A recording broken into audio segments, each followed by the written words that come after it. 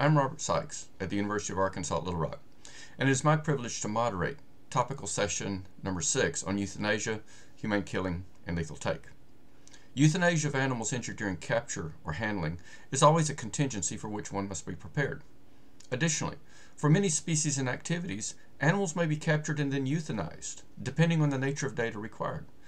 But if the research target is an armadillo foraging just inside a woodline, a bird waiting on a hummock in the Everglades, or a diverse sample of fish that are collected as part of a commercial harvesting operation, meeting the conditions expected of euthanasia might be difficult, if not impossible. As a consequence, suitable methods of humane killing and lethal take represent one of the constant challenges for investigators and oversight bodies alike. As subject matter experts for this session, we're joined by Dave Miller, who played a key role in crafting the wildlife sections of the AVMA's euthanasia guidelines. Andy Engilis from UC Davis, who is a bird expert and brings additional insights regarding the nature of archival samples needed for systematics collections. Rebecca Rowe from the University of New Hampshire, a small mammal specialist in environments where lethal capture is often a necessity. And Jeff Buckel from North Carolina State University, whose insights include collecting fish samples involving large numbers of individuals and species, all in the confines of an offshore fishing vessel. With that, I'd like to turn the podium over to our experts.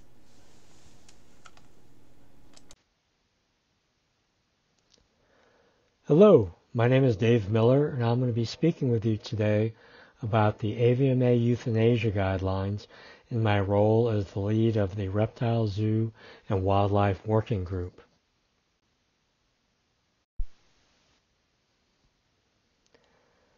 For some background, the first edition of the AVMA Euthanasia Guidelines was developed in 1963, and the emphasis was on dogs, cats, and small mammals in general.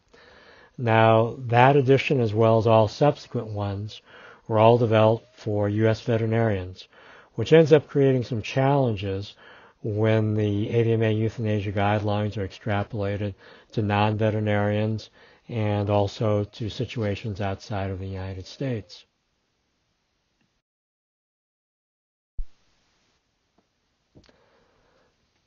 So as time has gone on, the AVMA has recognized the increasing challenges and the increasing range of information that's available for euthanasia so in 2020, as an extension of what we did in 2013, we started developing working groups for different areas, and there's also an emphasis on the evidence that's available for evaluating different euthanasia methods. Uh, so, for example, in the Reptile Zoo and Wildlife Group, we had biologists with affiliations with TWS and, AFWA, as well as various researchers and veterinarians.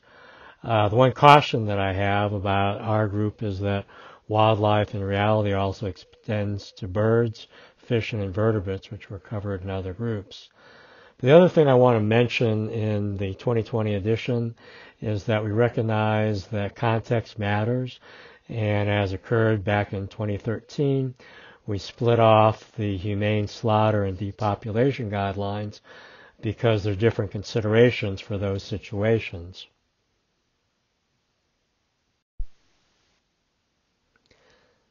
It's also important to recognize what is not covered by the euthanasia guidelines, and that includes things such as hunting, fishing, and pest control.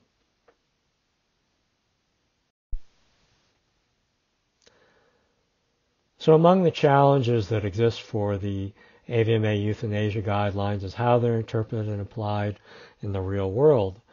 Understanding that we're working in a dynamic social environment with people that have very different views on animals, what they should experience, uh, how they should be relating to humans, and human control, positive or negative over these animals. We're working with a wide range of species with different characteristics in settings that range from highly controlled to free range. There's also the definition of euthanasia as opposed to depopulation or humane killing or anything else and what's good in one person's mind in terms of minimizing pain and distress uh, may not agree with what other people agree with. And even when we try to communicate what we feel is important in the euthanasia guidelines. Uh, how that's communicated is a challenge, and how that's applied in the real world may vary from situation to situation. And we need to recognize that people approach this with different views of what past euthanasia guidelines indicated, uh, other biases associated with how they look at animals and humans, and those perceptions are going to shape the lens on how they view the AVMA euthanasia guidelines and how they apply them.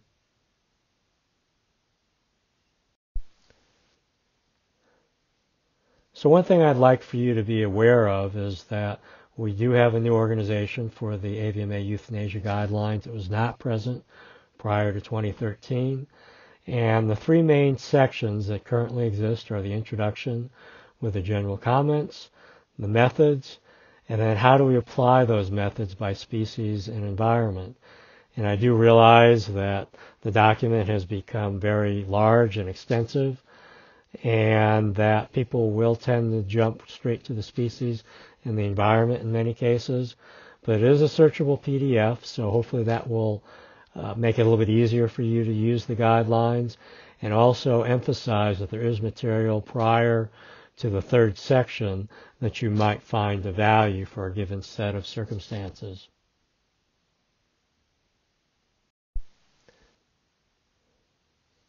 So in the introduction to the guidelines, we have a section discussing the ethics of taking an animal's life and how we can justify that. And we also have a list of things for people to consider when they want to decide what's the best method for a given situation. And in terms of the general categories, we suggest that people consider what the animal experiences, both in terms of pain, distress, duration of that pain and distress, we ask that people consider what the humans will encounter in terms of a need for training, uh, what the impact on the individual performing euthanasia could be, as well as those that may be watching it. In addition to the social environment, we're also concerned about the natural environment in terms of residues and impacts or potential impacts on other animals and the environment, and of course, what is legal for a given set of situations.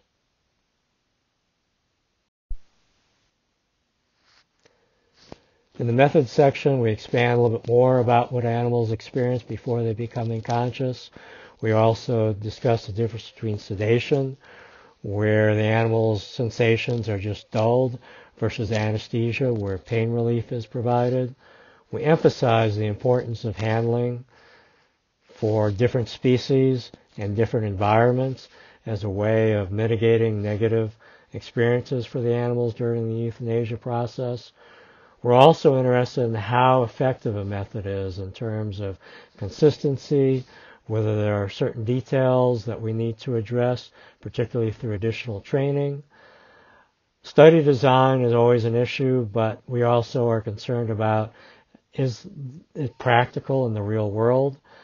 Some of that can be supported by statistics. Very often it's more qualitative descriptions.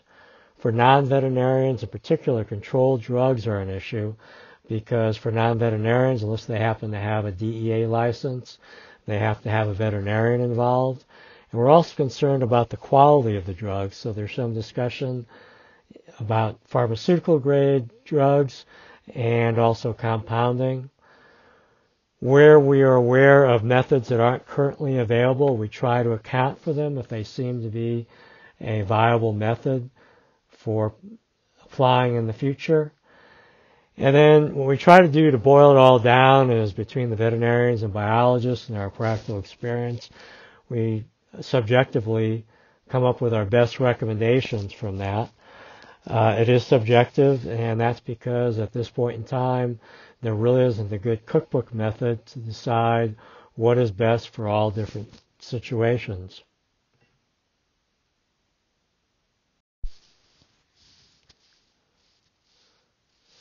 So in the last section, we're largely providing recommendations for birds and mammals, both domestic and wild.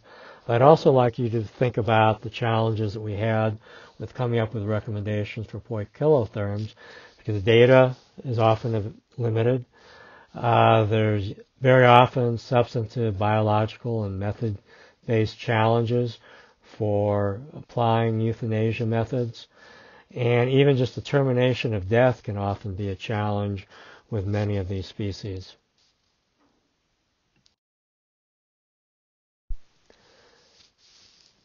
So before we go further, I'd like to make sure that we talk a little bit about the benefits of words like euthanasia, slaughter, depopulation, humane killing as a way of communicating concepts, but they also limit how we view things based on our biases and preconceptions.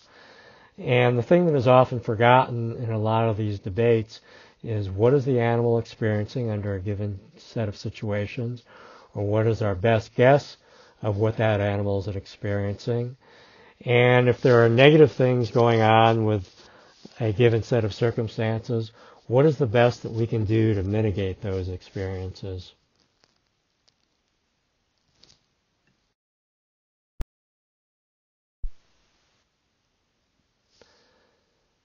So the guidelines were written to try to be adaptable for different species, different situations. But with that adaptability comes ambiguity, and that requires thoughtful interpretation and application of the guidelines because there really isn't a way to write a cookbook for every single situation. So for a specific situation, there's a need for knowledge about the species and the methods and all the other circumstances involved in that particular situation. There's a need for communication between the researcher and those that have oversight over them, as well as those that are external to the process, recognizing that many of the people involved may be disconnected from basic biological processes. There's also this tension between what has always been done in the past, as well as varying expectations from society and new methods that may arise. So the big thing is that when we look at a given situation, our recommendations, does it pass the sniff test? Is it reasonable for somebody that's looking at this to think that we use the best methods for the given situation? This is made a little bit more challenging because very often there's limited literature available for different species and for people that are trying to apply the guidelines, the question is how do we balance and evaluate the different information? And then for those that are external to the process, there's this distrust of experts and the polarized environment that we discussed previously. And because of the disinformation that can be spread and the interest in winning versus outcome based focus on what the animal experiences, litigation will often become a consideration. And the other thing that's important to realize is that very often as scientists, we want more data to try to make a decision. In reality, very often what we're dealing with are social situations where the challenge is people with different values. And in particular, people with different values may need to accept that there are trade-offs when we ex- make a decision to use a given method for ending an animal's life.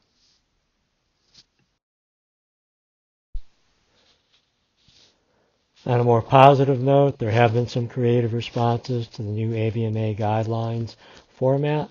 For instance, Tony DeNicola demonstrated that it can be practical to meet euthanasia criteria using firearms on free-ranging cervids that are at a distance for full disclosure, I did have a minor role in this study.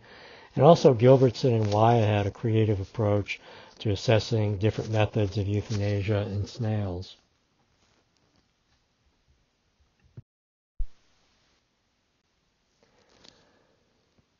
So the take-home message is to thoughtfully consider the information that's available in the different sections of the AVMA euthanasia guidelines and that context matters when we're trying to pick the best euthanasia method for a given situation.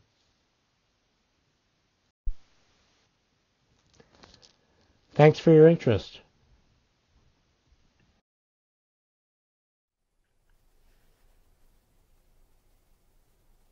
Hello, my name is Andy Engilis Jr., and I am curator of the UC Davis Museum of Wildlife and Fish Biology.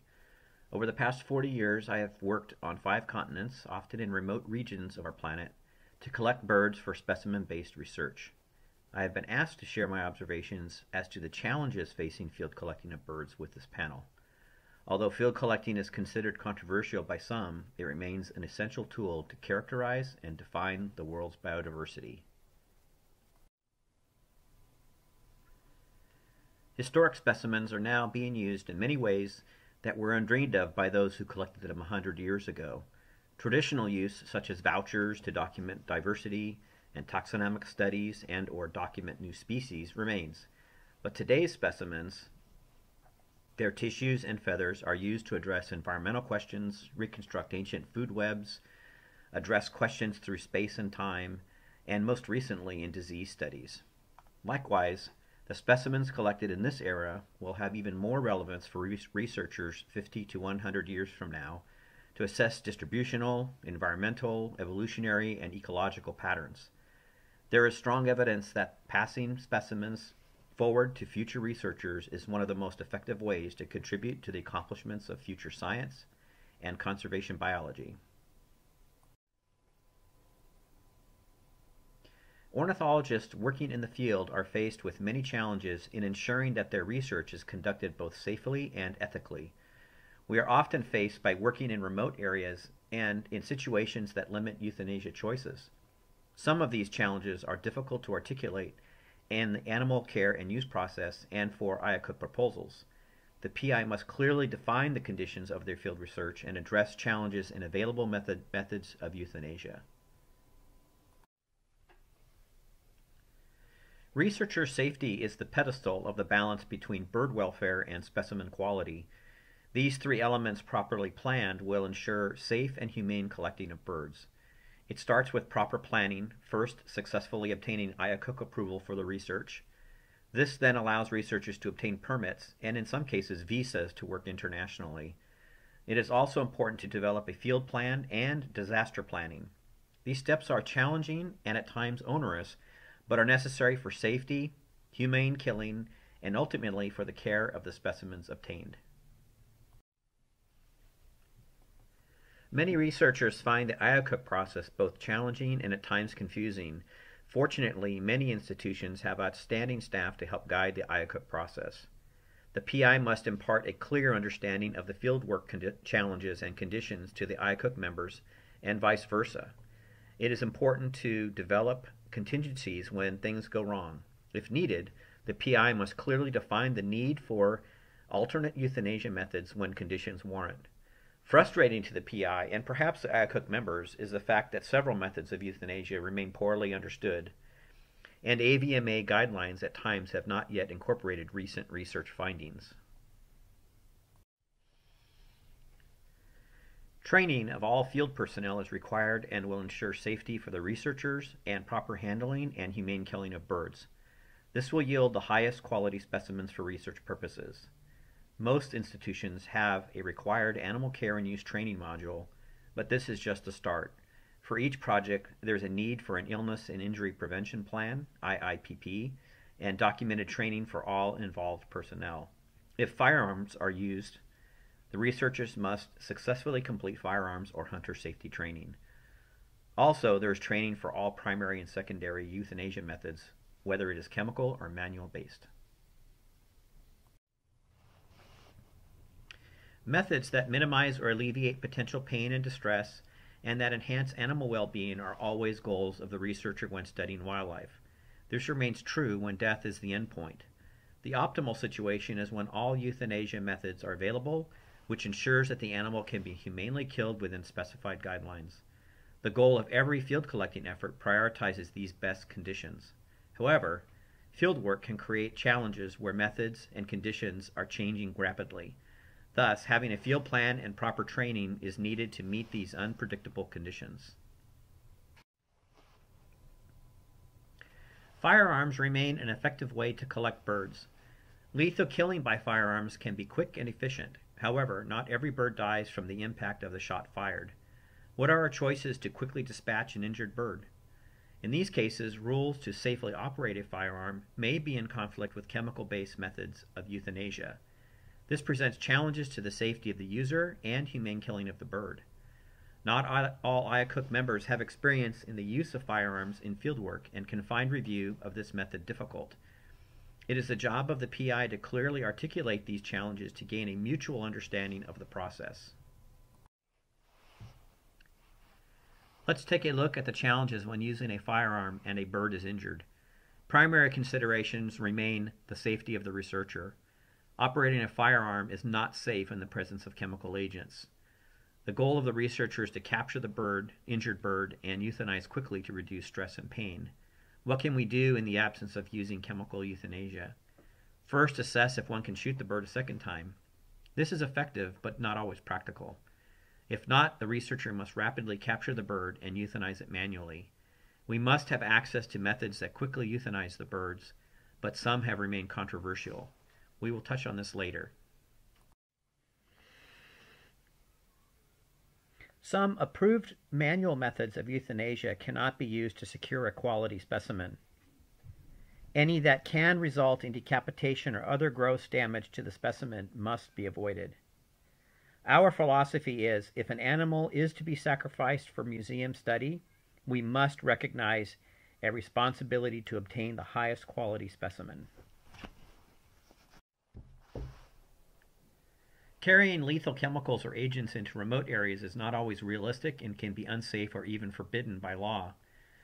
Mist nets generally are used to capture birds in remote research areas. Researchers need quick methods for humane killing that yield quality specimens and reduce time of handling. They must rely on manual euthanasia in these circumstances, which are limited when considering a museum specimen. It is difficult to clearly articulate the conditions, long hours, and limitations of working remotely to IACUC members. It takes experience to understand the grueling conditions of field collecting remotely. The researcher must roam large areas to seek the species they desire. Mist nets are often set remotely from base camps, and it is at times impossible to bring birds back to base camp to euthanize. And we must consider if bringing birds back to euthanize at camp is the best, in, best for the bird's welfare when death is the end point. I want to address one important topic of humane killing of small birds. That is the use of rapid cardiac compression, also called thoracic compression, for euthanasia. Museum ornithologists view the AVMA decision to not recognize RCC as an approved euthanasia method in the field as one of the biggest challenges facing field collecting of birds and obtaining IACUC approval. It is at times the only practical method available to safely and humanely euthanize a small bird. This method is misunderstood and is not properly covered in the 2020 AVMA guidelines, where recent studies have not been considered in the decision. The fact is that for those who use and clearly understand rapid cardiac compression, they know it to be fast and humane. Now there are clinical and methodological studies completed to back this perception. One of the misconceptions is that thoracic compression or rapid cardiac compression denotes suffocation, which is inhumane. The clinical studies show that birds do not die as a result of suffocation, but expire due to instantaneous loss of blood to vital organs and the brain. Studies show that the method rivals interosseous pentobarbital euthanasia for time to cessation of pulse and isoelectric EEG.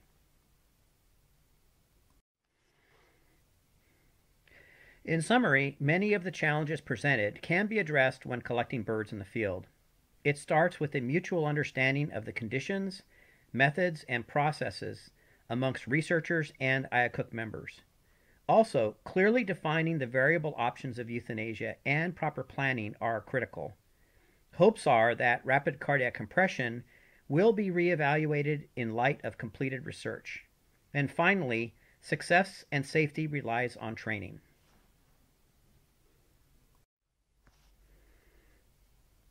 Thank you very much for joining me during my presentation of the challenges facing field ornithologists in collecting birds.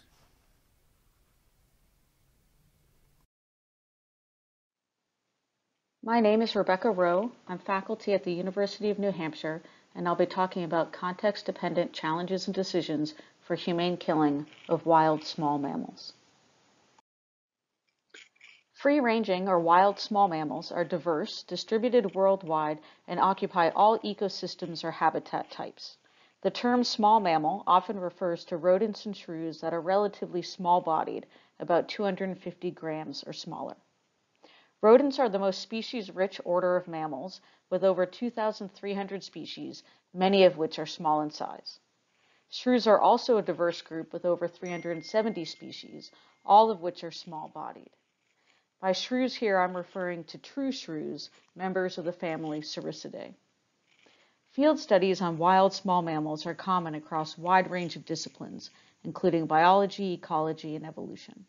Given the great number of species and studies, there's great potential for circumstances to arise where AVMA preferred capture techniques or methods of euthanasia are not practical or may be a less than ideal choice. Free-ranging or wild small mammals are diverse, distributed worldwide, and occupy all ecosystems or habitat types. The term small mammal typically refers to rodents and shrews that are relatively small-bodied, about 250 grams or smaller. Rodents are the most species-rich order of mammals, with over 2,300 species, many of which are small-bodied. Shrews are also a diverse group with over 370 species, all of which are small in size. By shrews here, I'm referring to the true shrews, or the members of the family Soricidae.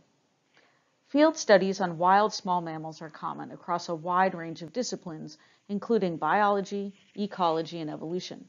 Given the great number of species and studies, there's great potential for circumstances to arise where AVMA preferred capture techniques or methods of euthanasia may not be practical or may be a less than ideal choice. Researchers use a variety of techniques to study wild small mammals in their native environments. These techniques can be non-invasive, including camera traps or hair snares, or it can involve the physical capture of animals. This talk focuses on physical methods. These trap types vary in design, but can be broadly categorized as live traps or kill traps. Live traps are those that hold the animal unharmed, whereas kill traps kill the animal outright upon capture. An example of a live trap is a Sherman live trap, which is an aluminum box trap pictured in the middle here. A common example of a kill trap is a museum special snap trap pictured on the right.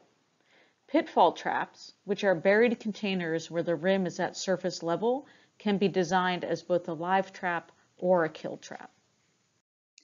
Live trapping is an appropriate method for many scientific studies, and both box traps and pitfall traps can be effective in capturing a wide range of small mammals. It's important to note that the two methods often preferentially target different species of small mammals, with the smaller shrews and rodents often caught more readily in pitfalls than box traps. Under the AVMA guidelines, use of live traps is a preferred survey method, and when appropriate or necessary, live trapping can be followed by methods of euthanasia. In the live trap, efforts are taken to ensure the well-being of the animal by providing food and nesting material and, depending on the environmental conditions, using covers to protect against heat, wind, or rain. Pitfall traps also have drainage holes in the bottom. Live traps are checked regularly to minimize pain or distress and decrease risk of mortality. The AVMA recognizes that there are challenges inherent in conducting work on wild animals. Researchers who conduct field surveys of wild small mammals might find themselves in circumstances where AVMA preferred capture techniques or methods of euthanasia are not practical or may be a less than ideal choice. This may include circumstances when live traps pose a risk for pain and distress, when approved measures of euthanasia can't be applied, or when scientific collecting is appropriate or necessary. These circumstances can be prompted by a range of factors, including environmental conditions, logistical constraints, or species-specific biology. For example, when researchers need to travel to remote locations, travel times can make it impossible to be able to check live traps frequently. In the case pictured here, researchers need to travel by helicopter from a base camp to the site of a recent wildfire. This trip takes about an hour and a half, and that's just the flight time, not including work time on the ground. Even if access were easier, the researchers would have challenges being able to employ approved methods of euthanasia should that be necessary, because the transport of those agents would be at the discretion of the pilot. and this is assuming the researchers were able to find a veterinarian in the state to prescribe those agents in the first place. While this may be an extreme example, there are many reasons why access to a site may be limited or highly weather dependent, such as road closures due to flooding or stream crossings, which would also place the animal at great risk were the live traps to go unchecked. Species-specific differences in biology or physiology present another scenario where AVMA preferred methods may be a less than ideal choice. For example, many species of shrews are very small in size. One example pictured here is Sorex hoyi, more commonly known as the pygmy shrew, which weighs about 2 to 4 grams. For reference, that's about the weight of a dime or nickel.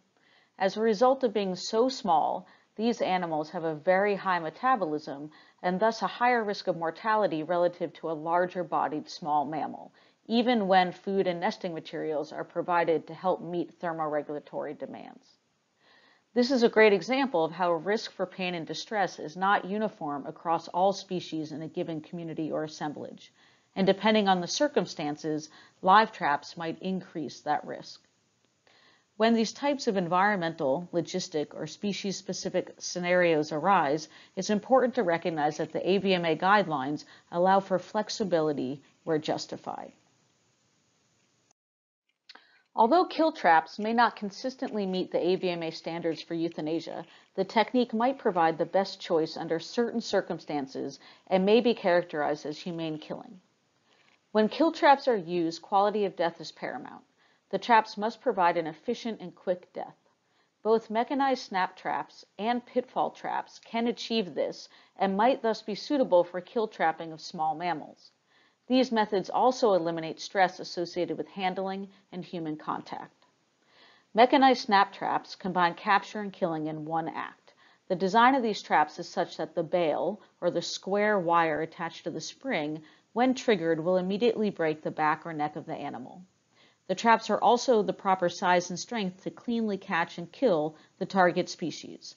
Smaller and more sensitive traps are appropriate for mice and shrews, larger, more powerful traps for rats. To minimize pain and distress, pitfall traps can also include drowning fluid. One example design is the use of 70% ethanol capped with a thin layer of mineral oil and hexane. This layer serves two purposes. It limits the evaporation of the alcohol, and reduces surface tension so that the small mammal loses buoyancy right away and thus death is rapid since the animal quickly submerges. Although the AVMA does not consider drowning an acceptable form of euthanasia, the guidelines do provide IACUCs the latitude necessary to consider alternatives for wildlife that may not always meet all criteria established for euthanasia. When collection or killing are appropriate or necessary, the animal can be prepared as a voucher specimen and deposited in a natural history collection. These specimens contribute to scientific infrastructure where the tissue, skin, and skeletal material are used to advance science across a wide range of disciplines, including public health, ecology, and evolution.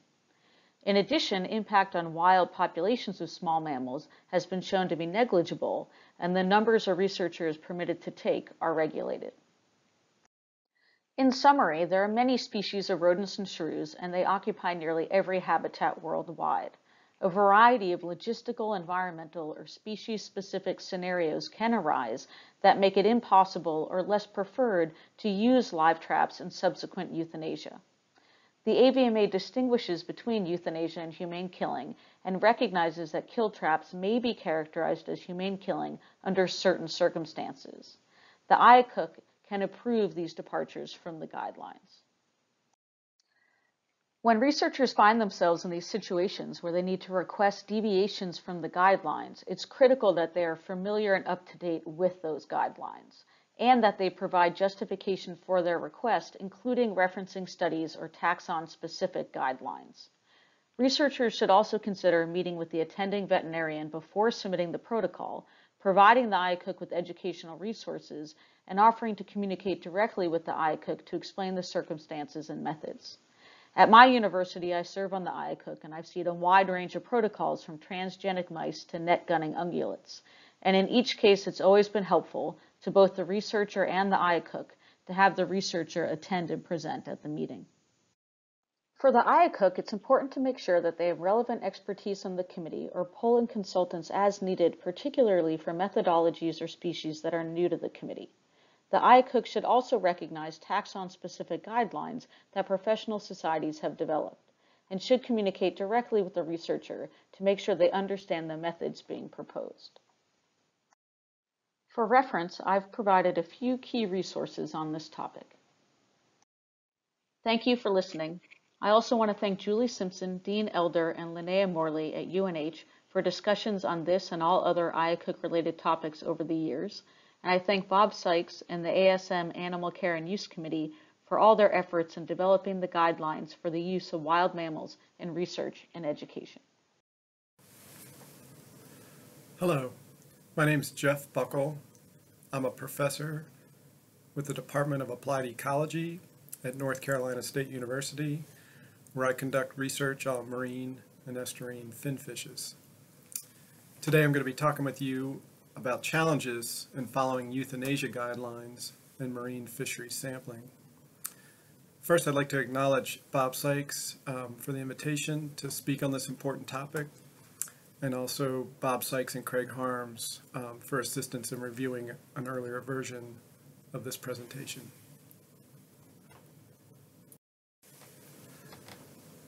I'll cover the following topics in the presentation. Why do we sample wild fish? Providing justification for using gear types that catch large numbers of fish. I'll next review euthanasia guidelines for fish. And then I'll provide an overview of gear types used in marine fishery sampling and challenges to meet euthanasia guidelines. Lastly, I'll cover language in the AVMA guidelines related to commercial fishing gear that acknowledges the logistical constraints of applying euthanasia guidelines in these circumstances. So, why do we sample wild fish? The wild fish stocks that we are conducting research on are targeted by recreational and commercial fishers and it's important to estimate their trends in abundance. It's also necessary to keep track of their life history attributes, such as reproduction, size and age distributions, and condition. Abundance indices and life history data are used as input into stock assessment models to determine stock status and future sustainable fishing levels. So as a trade-off, we need to kill some fish during sampling to improve or maintain fish stocks for sustainable fisheries. The aim of the AVMA euthanasia guidelines are to accomplish death for these animals rapidly with the minimum amount of pain and distress practicable. Acceptable methods for euthanasia in finfish include non-inhaled methods, such as immersion and injection, or physical methods, such as decapitation and pithing. Unacceptable methods for euthanasia in finfish include death by anoxia and desiccation after removal from the water or by anoxia in the water. The next three slides will introduce gear types used in marine fishery sampling. Pictures of the catches from these gear types will illustrate the challenges in meeting acceptable methods of euthanasia in fish from these catches. An illustration of a bottom trawl in action is shown on the left hand side of the slide. The bottom trawl is towed along the bottom of the seafloor fish are funneled into the mouth of the net and moved to the back of the net. After the tow is done, the net is brought on board and the catch is dumped onto the deck of the boat and samples are sorted. As you can see in the picture on the right, the large numbers of fish that can be caught during a tow prevents the use of acceptable methods of euthanasia, such as the non-inhaled or, or physical methods that require handling individual fish or small numbers of fish. A picture of a beach seine being fished is shown on the left. The seine net is set off of the beach and encircles a section of water. The net is pulled up onto the beach and the fish are retained in the net. Catches in beach seines can be quite large at times. Here's a catch of small juvenile fish on pictured on the right. And these large catches make it impossible or not practical to apply acceptable euthanasia methods such as the non-inhaled and physical methods described earlier. The last gear type I'll describe today is a gill net. An illustration of a gill net is shown on the left of this slide. It's a wall of mesh uh, suspended in the water column with float lines and a lead line. Fish don't see the net and they swim into it and are caught in the mesh of the nets um, by the bones that cover their gills, thus the name gill net. A photo of a gill net being retrieved is shown on the right, again illustrating that this gear can catch large numbers of fish and making it um, not possible or impractical to apply acceptable euthanasia methods.